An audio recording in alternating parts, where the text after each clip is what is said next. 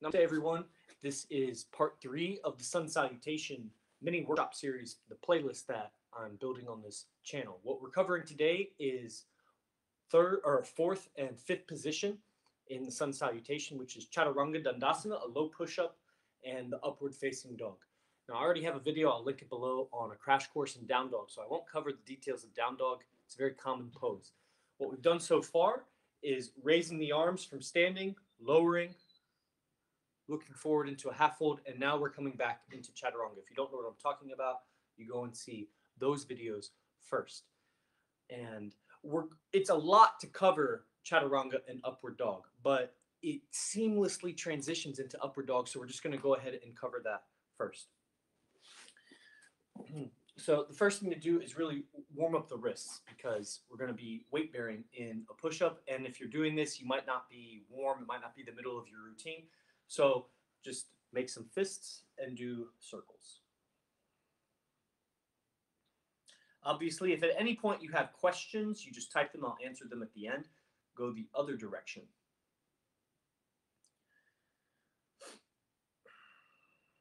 I will address a little bit of anatomy today, but it won't be super intense. And interlace your fingers with the knuckles facing back towards you and do figure eights. And go the other direction.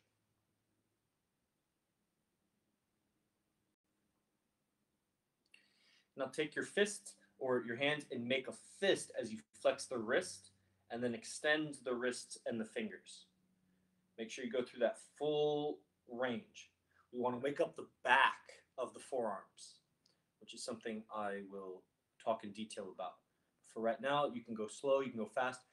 If you do this from full range of motion, of flexion to extension, it should only take a few reps before you really start to feel your forearms working.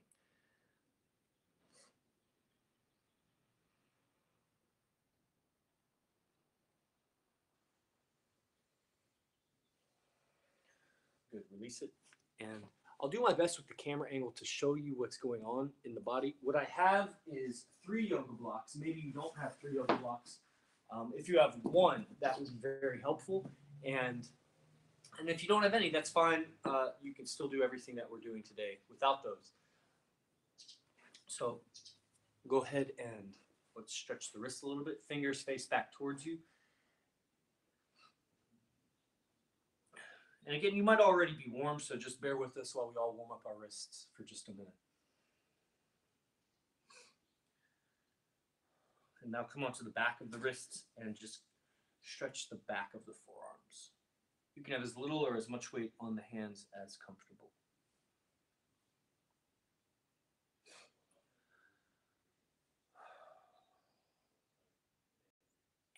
So what we're not covering today is jumping what happens in the sun salutation. So if I was, this is third position, uh,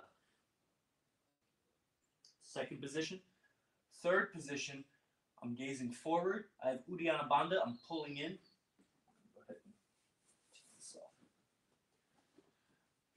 So second position was my forward fold. Third position, I'm looking forward and I'm sucking in and up the belly.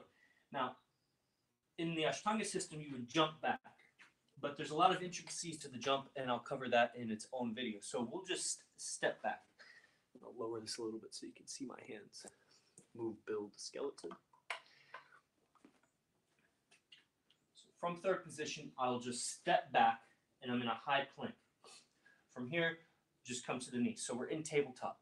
Oh, you still can't see the hands. What is most important is a spreading sensation between in the web space between the first finger and the thumb. And as difficult as it might be, we really want to press the entire inner edge of the thumb down into the mat.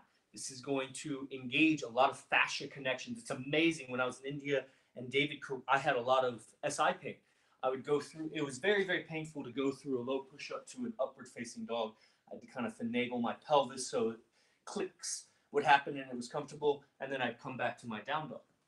David comes over and corrects my hand position and how I'm pressing through the palms. What was happening is what he would call lazy hands. So be aware when you're bearing weight on the hand that sometimes that knuckle will come up if you can't see. So as I bear weight on the hands, it happens a lot in like handstanding or crow pose, any kind of weight bearing, is that inner knuckle will start to creep up. And you'll end up, you see how the, the knuckles are coming up. You end up bearing weight on the outer edge of the palm. That's no good because the wrist, the joint is on the thumb side, the radiocarpal joint. This side of the wrist is not a joint. It's a bunch of small bones, some connective tissues. There is like kind of a cartilage there, but it's not. The hands in general aren't made for weight bearing. But the inner wrist, the radiocarpal joint where the thumb meets the forearm, it can bear a lot of weight. That's, I mean, people are doing one handed handstands on that joint. And so you put weight into that joint by spreading more, which is, as we were doing our warm up, it's the forearm extensors. So you have flexors, extensors. So the finger extensors, the forearm extensors, the more you can engage the back of the forearm because of the reciprocal relaxation reflex, the more the front of the forearm will relax, which will help you spread the palm. A lot of times people's fingers are or the palms are kind of creeping up because there's too much engagement and tension in the front of the forearm. If you focus more on engaging the back of the forearm to press completely, full spreading completion, the hand is your foundation. Never ignore your foundation. Whatever your foundation is in the pose. In standing poses, it's your feet. In belly poses, it's your belly. Uh, in your back, it's your back. You know, whatever is in contact with the earth, you want to make that wider and more stable. So if it's the hands, make those really wide and press down. And you know the secret area is this kind of triangle between the base of the first finger, the inner base of the wrist, and the thumb. Okay. So, uh, what we're gonna do is is this phenomenon of posterior tilt the shoulders and the neck, and I've said this in so many videos, are a reflection of the pelvis, which means when the pelvis, when you poke the butt out, which is an anterior tilt, you also tend to anterior tilt the, the scapulas. And this creates the arch in the lower back and a rounding in the shoulders. Conversely, if you can do a PPT, that tends to open the shoulders, also a PPT of the scapula. So PPT is posterior pelvic tilt. So when the pelvis goes forward, the scapulas also tend to go forward. When the pelvis goes backwards, the scapulas then can open up more. So you see this a lot, a lot, a lot in low push-up positions where, where people's butts will come out and their shoulders roll forward. Let's see if I can do it bad. I haven't really trained myself to do it bad. So this would be like not a good push-up position, butt out. So people tell you tuck, and then we want to open the shoulders. So the way that I have trained myself to be able to do this is simply using the sense of feeling on the ground. So I come into just on my belly really straight legs. The legs will lengthen your spine. If you can extend to infinity from the pelvis down through the heels, that will help you lengthen the spine. The hesitation to fully embody the legs is creating uh, contraction. It's creating lack of space in the spine. So imagine very, very long legs while you do this. Now, the hand position just like we said. You might even turn the fingers out a little bit, will help you pour more weight into the inner wrist. Bone stacking, so I want the elbow right over the palms, not so much forward like this. Whatever I plant the feet, which would be about hip width apart, we don't need to go super into that. And then really straighten the legs, straighten through the heels, really pushing back through the heels. Now pour about 10 or 15% of your weight in your hands. So it's not, you're not going to lift your whole body up, but have just a little bit of weight in the hands. And then right here, tuck the pelvis. So you want to feel that. And then you can release, but keep the legs straight. Gaze either down towards the nose or slightly in front of you. Pour 10 to 15% weight into the hands and then tuck the pelvis and then release and then tuck the pelvis. This is called a posterior pelvic tilt drill. And ideally, you want to keep the shoulders up and back, slide the shoulder blades down the back, and then really ease the breath. And go ahead and hold for just a moment. Feel feel how the lower belly tucks off the ground. Feel how the tailbone is pulling towards the ground. Feel your sit bones, the ischial tuberosities pulling towards your heels. And release. Now, if you found that very challenging, which it is a challenging movement, uh, you can do it without the toes tucked. You can do it on the thighs, and it's a similar sensation. Just feel what that scooping, what that sensation of scooping is, so that the lower, lower back really lengthens and flattens. It's no longer being crunched in this kind of spinal extension.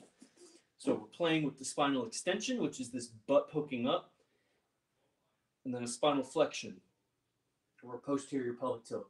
We need to find what does this feel like, because eventually we're going to do it in a chaturanga. So we need to be able to hold that. Good. We'll come back to that. I want to show you what it is in detail that we're doing. Some of you may already know this. This is the last anatomy I'll show on this video, I promise. So this is the abdomen, right? And you can see the six-pack muscle, the rectus, uh, the external obliques, the internal obliques, and then underneath that there's the transverse abdominis. So those are four muscles: rectus, external obliques, which are more on the surface, internal obliques, which are under that, and then under that is transverse, four muscles. So the deepest is transverse, and the most superficial, the one on top, is this six pack muscle, rectus.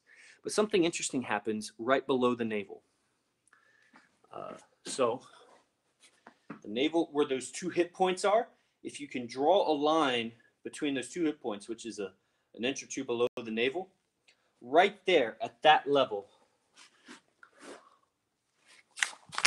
rectus abdominis will slip underneath those other three muscles. So from that point, if you draw a line from the front two hip points, rectus slips under and then goes all the way to the pubic symphysis, the bottom of the pelvis there. In this region, the lower belly, rectus abdominis is actually the deepest abdominal muscle. It goes from being on the surface to being the deepest. Deepest means parasympathetic, which means to access it, you need to train your body while in a parasympathetic nervous system state, which is most easily affected if you haven't seen how to stop your heart rate. I have that video. It's diaphragmatic breathing, accessing the vagus nerve. And a lot of these other datums that we have, like are your fingers clenching, or your toes clenching, is your tongue clenching? Do you have space in the soft palate, Khechari Mudra? And if you can maintain these things, probably in my opinion, the most important are soft face, space behind the throat, and a diaphragmatic breath. If you can keep those three, then you're at least very close to parasympathetic state, which makes it easier to access the lower belly. So you have from the two hip points, this line, the six pack muscle slips under the other muscles. And so from to the pubic symphysis, this lowermost belly, which is uh, difficult on most people to engage, that's what we're doing. We're finding the rectus, which is pull the bottom of rectus abdominis pulls the bottom of the sternum towards the pubic symphysis. But we want to emphasize that in the lowermost belly. So we just did a difficult exercise. We'll back it off a little bit to a slightly easier, and then we'll build it back up. So laying on the on the back, it's an arch and a hollow. But now I want you to find the hollow, keep the butt on the ground, let go of the glute muscles. So I really want it to be abdomen. Gently push the toes into the ground as you hollow more. So that means pull the pubic symphysis towards the xiphoid. So the bottom of the sternum towards the bottom of the pelvis. Gently press the toes into the ground. The heels become light. Keep the butt as soft as possible. Deep breaths, diaphragmatic breaths. Start to train soft face, space in the palate, diaphragm breath while you hold this PPT.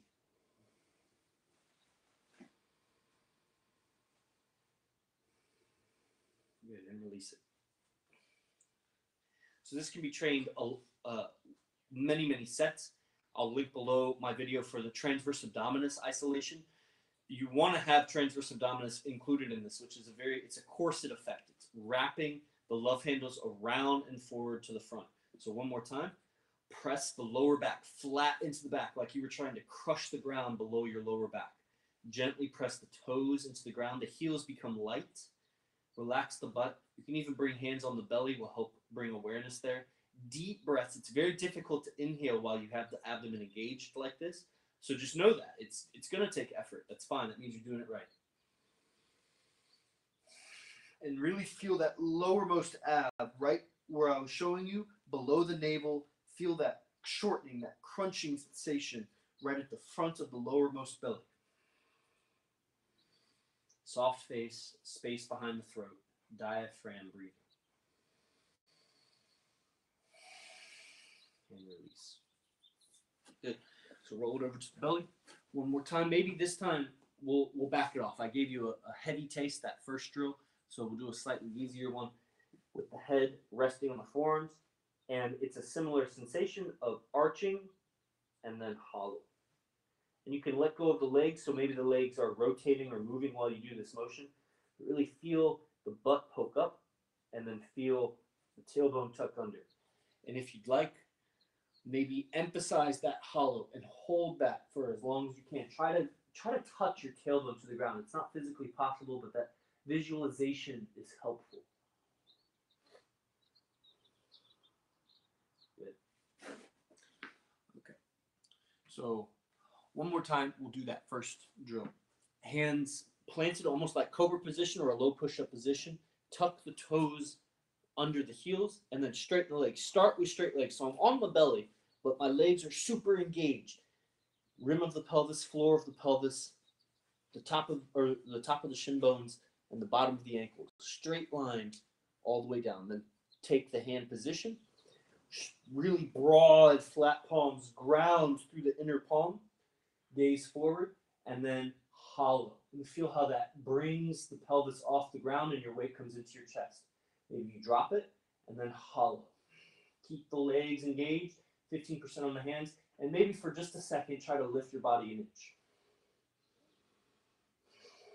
And then maybe you'd like to go through an up dog. Down dog. Just to uh, kind of distribute the energy and the tension that we accumulate through that drill. Now, uh, we're going to progress into three more PPT drills. And this is really, it's a progression of how can I keep the pelvis in the posterior tilt while I increase how much weight I'm bearing on my arms. Because remember, the tendency for weight bearing on the arms, pec minor will take over. Uh, check out my release for pec minor video. I'll link that below. So pec minor will overly engage and round the shoulders forward. They're, the shoulders and the pelvis reflect each other. If the shoulders go into this anterior tilt, the pelvis will go into an anterior tilt. And structurally, that's not as strong as this kind of rigid shape that we're embodying. The low push-up, just uh, remember from day one of the sun salutation, samastiti, single position. Chaturanga low push-up is the single position with bent arms. That's it. It's standing with good form, all of the spotlights aligned like I described in that video, but with bent arms. You know? It's just single position with bent arms. Uh, so, because after each of these three progressions that I'll take you to, and then we'll wrap up the video, uh, I'm going to invite you to go ahead and go into upward facing dog and downward dog because you accumulate tension just working on the low push up. And so now we'll take a minute to talk about upward dog. Upward dog, remember in, in low push up, chaturanga, the uh, fourth position, the gaze is either right beyond the nose or slightly in front of you. As you transition to upward dog, you trace a line with your vision and the vision is up and back. And the tendency, and you do what feels good for you. I'm not, you know, you're not right in front of me. So if there's pain, obviously you must modify. There are some people that as they come through upward dog, they tuck the chin and then they lift. This is creating a separation between the fascia around the neck and the fascia of the torso. We want a unified motion. So the arching of the spine includes the arching of the neck or extension of the neck to be technically accurate. So as I come through, the head is arching or the neck is extending at the same time as the spine is extending. It's one fluid motion.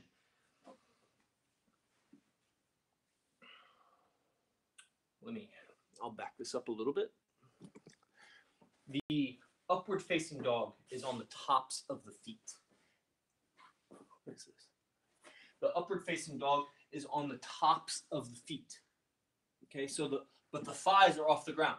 Now, as you're doing this um, exercise, and it's not uncommon for me, especially if I, if I'm sore or it's early in the morning and I'm just waking up, to do an upward dog from the knees, whatever you want to call that. There's still an engagement in the legs, but just maybe I'm not engaging so much that my knees come up. That increases the weight load on the hands. So you can maybe do it on the knees, but point the feet and uh, definitely all, all these videos I'm linking. Purvottanasana, I do a crash course on Purvottanasana in which I show you how to access the hamstrings and find how the, the sit bones, the ischial tuberosities on both hips, connect to the Achilles. So you want to feel that connection as you come into the upward facing dog. Looking up and back, and then on the exhale, uh, the downward dog. Now, I don't recommend, like I just did there, of just tucking the toes and going over. Like I said, if you're injured or if you're sore, it's early in the morning, you do what you need to. Ideally, the ideal that you're going for eventually is just to go right back over the toes. So there's no one at a time, which will develop a pattern. There's no tuck the toes, come back and do that. I mean, you can if you're stiff. The ideal is you're up on the toes and you just go right back to down dog.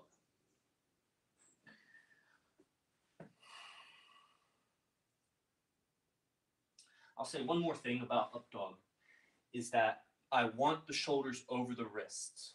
I don't want the shoulders in front of the wrists. I don't want the shoulders behind the wrists that will collapse into the lower back. I want the shoulders directly over the wrists. But we're coming to up dog from chaturanga. So if you're like me and your back bend isn't, you know, super contortionist and impressive, if I keep my feet where they are, my shoulders end up in front of my wrists. So I actually need to take my feet back. See how I slide my feet back to come into it. That's different than if I was in chaturanga and I plant the feet one at a time and then come up. Uh, this is very important. The chest opening is facilitated if the shoulders are directly over the wrists because with the bone stacking, there's a lot of stabilizer muscles that can let go. If the shoulders are not, if they're in front or behind the wrists, there's other muscle engagement that's occurring. It's not necessary. Stack the bones, which is stacking the energy and the effort, and then the chest can open more. We could go really deep into upward dog, and, and I might do that one day. But so, what I'm saying essentially is you're in your push up position, and as I come to up dog, be aware that you want the wrists under the shoulders right there. I didn't get it because my feet stayed put. So I slide the feet back when I come up. It's all on the inhale. As I go to my chaturanga, I complete the exhale in the pose. Chaturanga is a pose. Then, as I initiate the inhale, initiates upward dog. Then the exhale initiates into down dog. Okay. So obviously it's a lot. I'm throwing a lot at you. You can watch this video again. And we just have a few minutes left. I don't want to take too long. So I will show you very quickly. We'll go rapid fire three more progressions for the PPT. The first is basically the same one or two blocks under the chest. Now, ladies, if you have breastises, maybe you put it on a different setting so it goes between. I, I don't want it up in the throat, but I want it on the sternum somewhere, on the that front plate.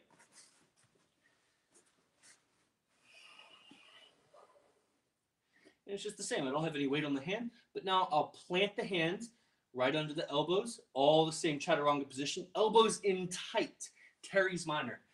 Uh, if you found that you have pain in the shoulders when you're doing this sort of thing, I highly, highly recommend you check out the heart seal.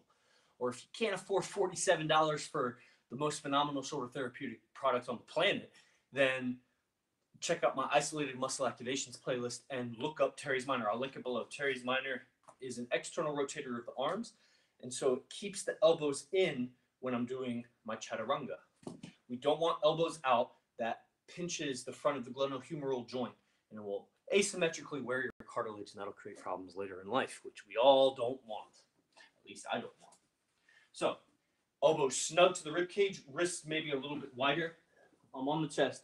10 to 15% weight in the flat palms. Tuck the toes, straighten the legs. Right here, I'm in an anterior pelvic tilt. Go ahead and posterior tilt. Notice where your shoulders are. Are they rounding forward? Bring them back and down. Gently gaze forward and take the back of the skull further away from the back of the upper rib cage. Lengthen the neck, drop the tongue, create space behind the palate. Maybe 25% weight in the hands. Straight legs, kick the heels back. Draw the shoulders down into the back pocket. And maybe take a breath or two to slightly lift off the block. And when you're ready, on an inhale, slide into up dog. And exhale, down dog. So the idea, the, the theme of why we're going into up dog is to pattern this posterior pelvic tilt. This and, and it's not about the posterior pelvic tilt. It's not about the bones. Fuck the bones. It's about ha- the bones are an indicator of what's going on in your muscular system. And the muscular system is an indicator of what's going on in your energetic system. Your energetic system, it's your mind. Your posture is your mind. So the inactivity of the lower belly and the compromised activity of the shoulder girdle, it inhibits future healing practices. It causes the need for future therapy practices. It so it, the practice of today, if it takes away from the practice of tomorrow, it's not good practice, as BKS Iyengar would say. The posterior pelvic tilt will keep your sacrum and your SI joint safe. Trust me, you don't want SI pain. Just do it. Just experience is talking here. Try it your own way. It's not going to end well. And uh, we don't want to pattern that tension in the shoulders. It will hurt the shoulders. It creates tension in the neck. It creates contraction, dukkha, and that's not good for personality. So uh, the second to last, which will be blocks under the shoulders. This will help you pattern that um, the shoulder positioning. And if you have a third block, you can always put it under your chest also. If you find that this is really too difficult on the shoulders to go through this drill, you could do like a forearm plank. And it's very similar. You just go through the arching and the hollow. Now that's uh, a bit challenging to then transition to the chaturanga. So I recommend you try it in chaturanga at least. But so this one, I'm placing the two block shoulder width right under the front of the shoulder capsule. And I already have a video on this. I'll link it below, um, but this is part of the progression. So on the torso, and my shoulders are on the blocks. You can even do higher setting. I'll do the highest setting. Okay, so I take my leg position, straight legs, 10 to 15% weight in the hands. Obviously, fatter cork blocks would be better than these little foam ones. As I pour weight into the hands, oh yeah, feels so good. Posterior tilt to the pelvis. Now make sure you don't have lazy legs here, no bent knees. Really straight, tilt the pelvis. Feel the lowermost abdomen below the navel engage. Flat palms, flatten the inner thumbs on the ground. Gaze forward, space in the throat. Take a full breath. On the inhale, come to your up dog. And exhale, down dog. So, what we're looking for is whatever engagement you're feeling in the lower belly when we do this chaturanga drill, carry that with you into the upward dog. Keep that posterior pelvic tilt sensation into the upward dog. Uh, and also, as a little side note, in up dog, you're really pointing the legs. Have a little bit of squeeze. Squeeze the legs just so ever gently, almost as if you had a block between your legs and you were squeezing. Feel just a little squeeze in your up dog. We'll do the final progression because I intended this video to be just half an hour. Is just plank, a plank PPT. It's very simple. Again, bone stacking. We don't want to be doing planches or uh, have the butt up in the air. Do your best to be in a straight line, ankles to head. Train here, not letting the inner palm come up. I can't emphasize enough. Flat palm, flat inner thumb. Decide if you want grippy fingers or extended fingers, but either way, this triangle in the web space of the hand should be flat. Extended fingers. Now here, arch and hollow. Arch. The legs stay straight the whole time. They never change.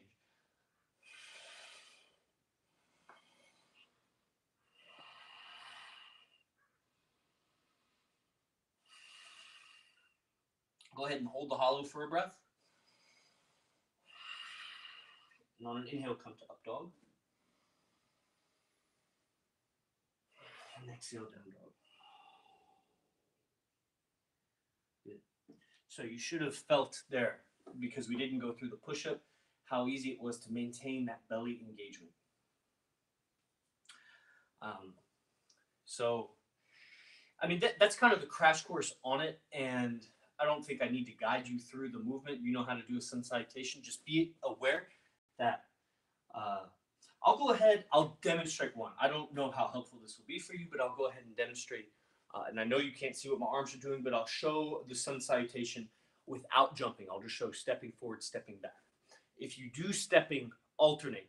Sun salute. This first rep, I'll step back and forward with the right leg first. The next one, left leg first. That's an important detail.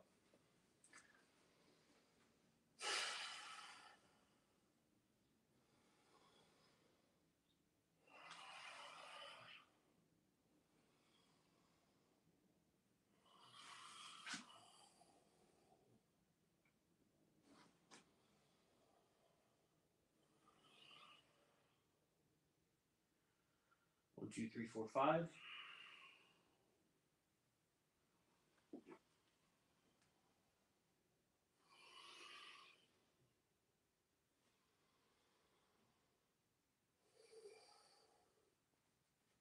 You will very rapidly notice that as you train the PPT in the chaturanga, that you easily get PPT in single position in stand.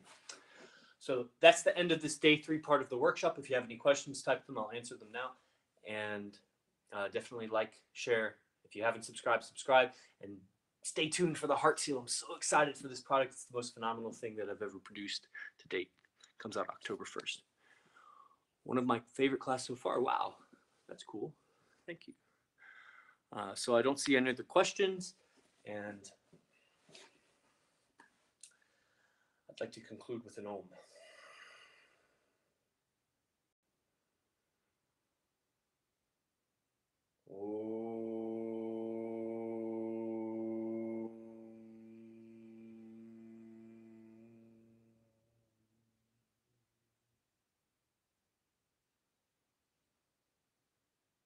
Namaste.